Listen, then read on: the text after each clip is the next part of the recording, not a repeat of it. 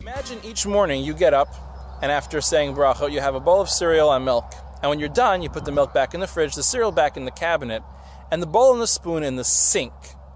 The next day you come downstairs, and the bowl and spoon are washed and put back away. Every single day. That's amazing. It just works automatically. You know, sometimes we don't realize, but somebody else is taking that bowl and that spoon and putting them in the dishwasher. Now imagine one day that the dishwasher is not working. And when you come downstairs, your dirty bowl and spoon are still sitting in the sink. For the first time, we have a chance to acknowledge and realize that somebody has been cleaning our stuff and our dishwasher has been taking care of it for us. In this week's Parsha, Miriam passes away. And as soon as she passes away, the Be'er Shel Miriam, the water that the Jews drank throughout 40 years in the desert, stopped having water. And the Jews complained. They realized they had no more water. For the first time, they had a chance to appreciate the water that they were given, the water that they had.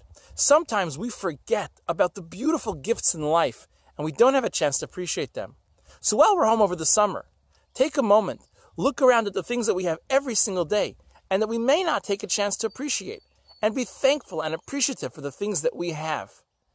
From North Dakota, Shabbat Shalom.